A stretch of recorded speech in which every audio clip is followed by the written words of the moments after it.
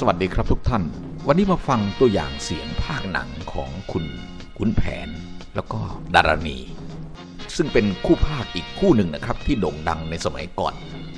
เวลาภาคหนัง 16มมนะครับเห็นไหมครับที่โรงคาเท่จะเขียนชื่อว่าขุนแผนดารณี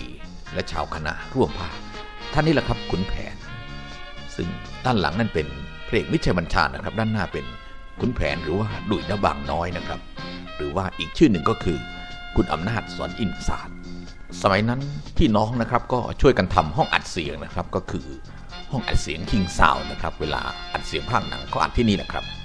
ภาพนี้ครูรังสีทัศนพยักษ์นะครับ ยกขบวนนักร้องไปอัดเสียงเพลงให้กับหนังที่ท่านสร้างนะครับ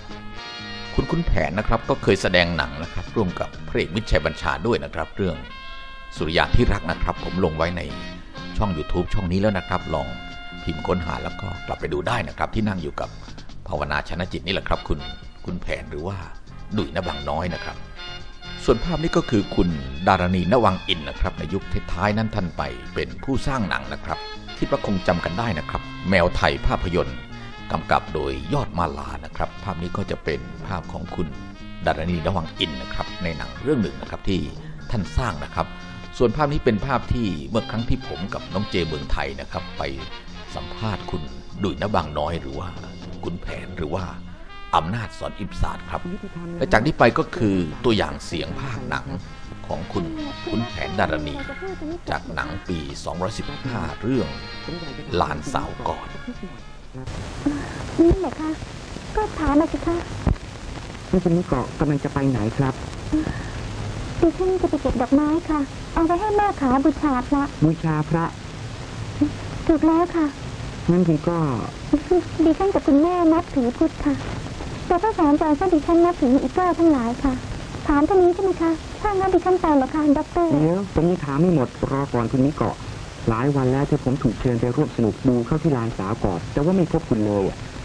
ผมหลงเดินหาคุณจนทั่วลานสาวกอดทำไมผมไม่ได้มีโอกาสพบคุณบ้างล่ะคนสวยดิฉันบอกแล้วยังไม่มีสิทธิ์เข้าลายสาวกอดนี่คะแต่ก็อาจจะหาได้อืม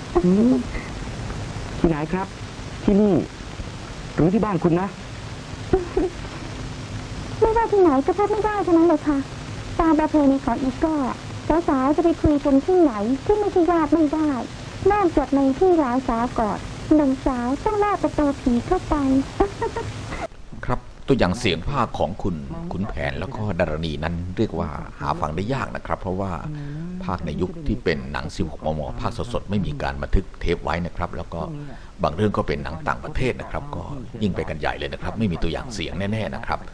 ที่มีตัวอย่างเสียงหลงเหลืออยู่ก็จะเป็นหนังไทยในยุคที่เริ่มบันทึกเสียงไว้ในฟิล์มนะครับตั้งแต่ปี 2013 เรื่อยมานะครับ ซึ่งก็